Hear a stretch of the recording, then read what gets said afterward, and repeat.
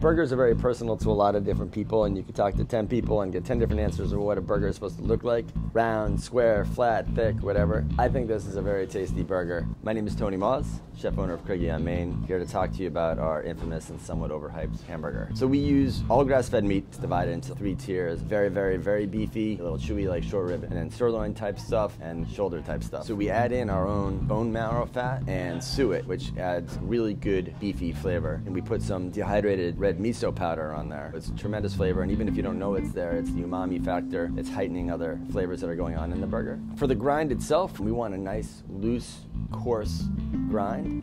The difference between a hamburger and sausages is that a hamburger shouldn't be emulsified. It shouldn't be really smooth. To me, it should be almost fluffy.